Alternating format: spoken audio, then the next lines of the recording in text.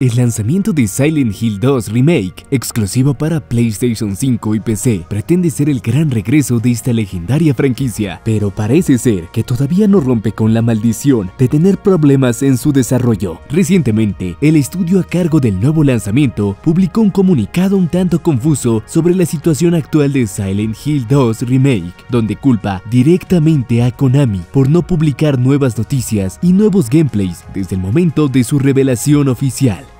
Queremos aclarar que la producción avanza sin problemas según el calendario previsto. Entendemos que muchos jugadores están deseando noticias nuevas sobre el juego. Sin embargo, pedimos un poco de paciencia. Cuando Konami como editora del juego ofrezca más información, estamos seguros de que la espera habrá merecido la pena. Gracias por la comprensión y el apoyo.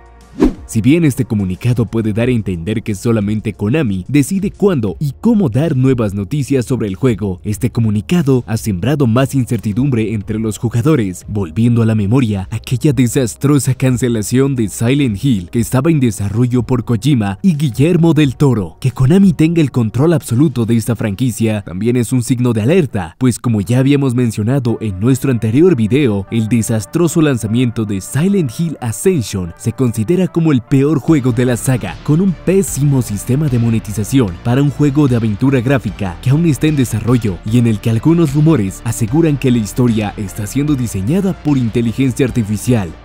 Nuevamente estamos ante conflictos entre Konami y el estudio, donde al igual que sucedió con Metal Gear Solid 5, Konami rechazaba y recortaba elementos importantes del juego y planes de los desarrolladores con el fin de ahorrar presupuesto y sacar el mayor provecho monetario posible. Al final, Silent Hill de Kojima y Guillermo del Toro terminó cancelándose porque a Konami los planes de desarrollo le parecían muy costosos y Metal Gear Solid 5 tuvo uno de los finales más abruptos de la saga, con mucho contenido recortado. Tal vez Konami pensaba que hacer un remake con un contrato de exclusividad sería un buen negocio, pero el resultado de su desarrollo está siendo más caro de lo que pensaba.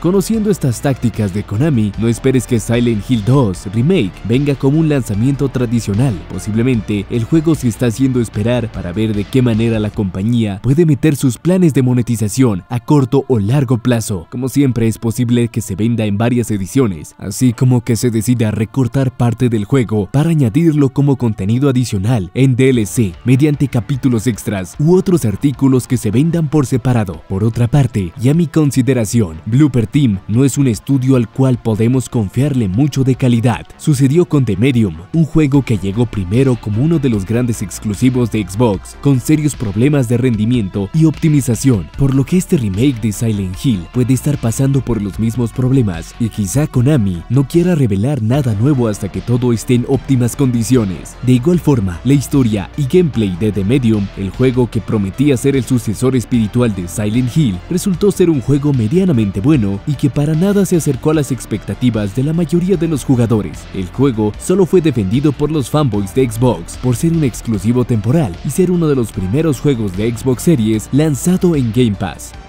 Por otra parte, hace unos días se había especulado que en este nuevo lanzamiento tendremos la oportunidad de controlar a Pyramid Head y conocer su historia de origen. El rumor fue tan fuerte y creíble, pues había salido en las descripciones de productos de tiendas como Best Buy. Konami salió a desmentir estas afirmaciones, aunque como dije, conociendo a Konami, puede que esto se trate de contenido adicional que se venda como DLC de post lanzamiento.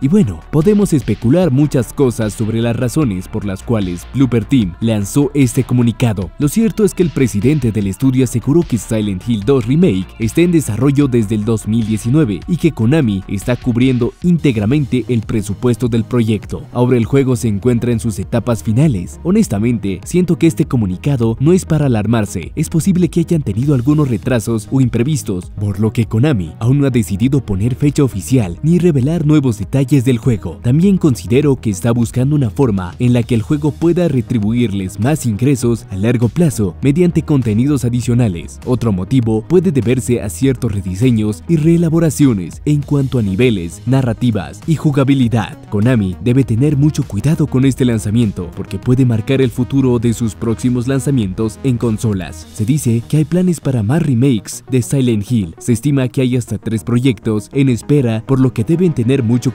en este primer intento. Si Silent Hill 2 Remake sale mal, Konami habrá sepultado por completo la última oportunidad que tenía para recuperar la confianza de los fans. ¿Y tú qué opinas al respecto? ¿Crees que Silent Hill 2 Remake tiene problemas de desarrollo? Déjame saber tus comentarios que estaremos atentos a debatir este interesante tema. Y si te ha gustado el video y quieres más contenido como este, dale like, suscríbete y echa un vistazo a otro de nuestros videos.